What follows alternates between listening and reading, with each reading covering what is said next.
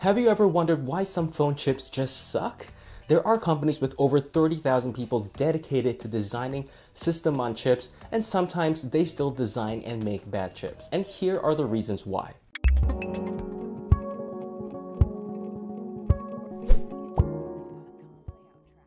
Hey guys, what's up? Welcome to Zi Reviews Tech. If you like learning stuff like this, why not subscribe? It's free. Now, this question has always been in the back of my mind, but after I tested a cell phone with a system on chip made by an unknown manufacturer and it kind of sucked, I asked myself the question, why is it so hard to make a good system on chip for a cell phone or tablet? And here are the reasons why. Now, if you don't know what an SoC or system on a chip is, let me elaborate very quickly. It's basically an entire desktop shrink rayed onto a single chip. Yes, that's an oversimplification, but let me elaborate just a little bit more. Most people think a system on a chip is just a CPU, but a system on a chip is just that. It's a system, and a system is composed of many parts. For example, there's a CPU, graphics chip, camera processing chip, network modems for 3G LTE, audio chip to listen to stuff, Wi-Fi, GPS, Bluetooth, and a ton more components. So in order to create a system on a chip for a cell phone, you need to be experts on not only the CPU, but the graphics, network modems, audio, and a ton of more other stuff just to make an SoC. So the top SoC manufacturers in the world are Qualcomm, which everyone is familiar with, Apple, who makes SoCs for their iPhones, Samsung, who makes their Exynos line of SoCs for their Galaxy phones, and finally Huawei, who makes the Kirin series of chips for many of their phones as well. Now, after these top tier manufacturers come the mid tier ones, namely MediaTek, who is well known for making Helio line of processors, Intel, who makes some Atom SoCs for a few cell phones like ASUS Zenfone line, and tablets like Microsoft's Surface. A quick mention for Nvidia who used to make Tegra chips but have since stopped, and also AMD who mostly makes enterprise ARM chips. Following these mid-tier SoC manufacturers, there are a couple more low-end ones. You might have heard of some of them. For example, Allwinner. They make SoCs mostly for ARM-based TV boxes and tablets, but lately haven't found their way into anything popular. There's also Xiaomi, who is a huge phone manufacturer who recently started their own in-house SoC named Surge. And finally, Spreadtrum makes a couple of SoCs here and there, but they haven't been great or very popular at all.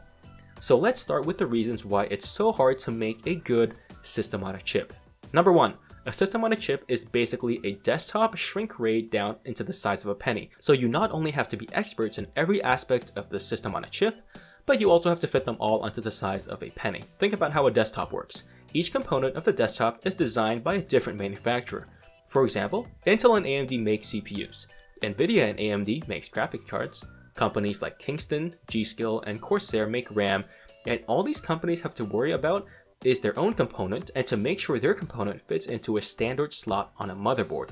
However, if you design a system on a chip, you either have to design or buy all these components, a CPU, graphics card, RAM, make them talk to each other, and then cram them onto a chip smaller than an SD card. So yeah, it's multidisciplinary, complicated, and space constrained. Number two, you have to work around existing patents. If something happens to be patented, you either have to stop doing it that particular way, or you have to pay the company a one-time fee or a royalty for the right to use it. There are so many patents related to system on chips that it's not even funny. There's power management patents, video playback patents, and network LTE patents to name a few.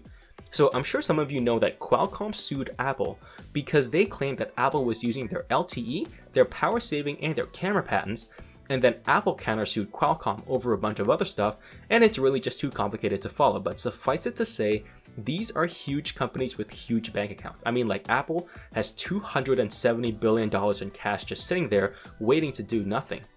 If you are a smaller company without the cash pile of Apple to pay up, or you don't have enough engineers to do research and development, so you're kind of stuck. You either have to use a less efficient method that's not patented, or just give up and do something else.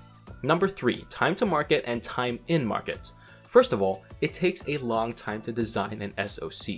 You might not see the impact in real life, but there are a ton of people working together at the same time to integrate all aspects of the system on chip together, as opposed to say Intel, who only worries about the CPU for the desktop side, and the CPU is basically a giant calculator. SoC manufacturers have to ensure crosstalk, they gotta get rid of wire delays, and deal with general design complexity that comes with integrating all these parts together. Now let's say a company like Qualcomm does finish their chip and pushes it to market. Now how long does that particular chip stay in market before it's taken over by something new? Let's take the Snapdragon 820 from the Galaxy S7 generation. This chip was announced March 2015 and the first phone to use it was the LeEco Le Max Pro launched February 23, 2016. And when was the new Snapdragon 835 launch? November 2016. That's less than two years, so the system on the chips don't stay in market for very long before the next generation comes up. So these companies really have to sell a ton of chips to cover their huge development costs. Number 4, battery life. So it would be a lie to say that companies do not care about power consumption on desktop and laptops, because they do.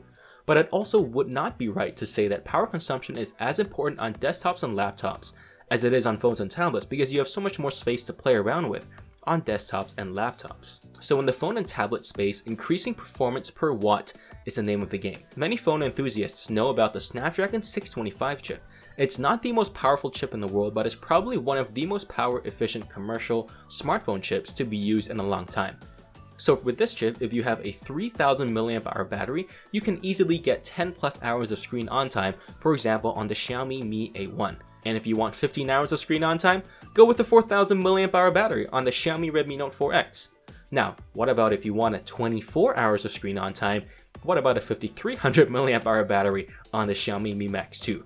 There's so much complexity in optimizing for power consumption that I probably won't spend too much time on this, but let me just say something really quick. So you can make a processor that's super fast but leaks voltage like crazy, which means that power is wasted.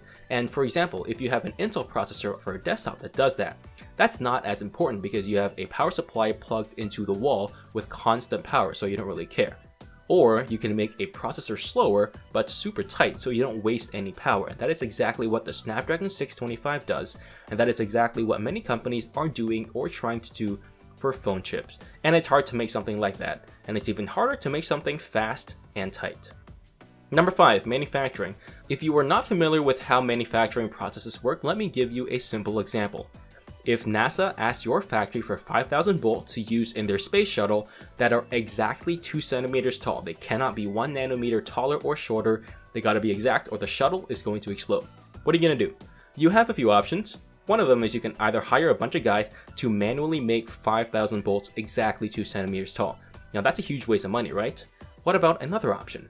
You can start up your assembly line, make 5 million bolts that are not all exactly 5,000 bolts, and then what you can do is you can hire maybe one or two guys and pick out the best 5,000 bolts that are exactly 2 centimeters tall and sell them to NASA. Now what about the rest of the bolts? They're not going to go to waste, right? So you sell the rest to Home Depot or OBI for like very cheap. Obviously, everyone picks the second option because you make a lot more money that way. Now, it's the same concept for system on chips and a lot of other computer components. You make 5 million system on chips and you sell the best ones. However, the difference is that unlike screws, there are some system on chips that you just cannot sell and are wasted because your manufacturing process just isn't refined enough yet. So after you throw away the bunch of chips, you go back and you tweak the process a little bit here and a little bit there, then you make 5 million more, you waste a bit less, you go back and tweak again, and you repeat the process. So this is very capital intensive. What do you think about the reasons I mentioned above?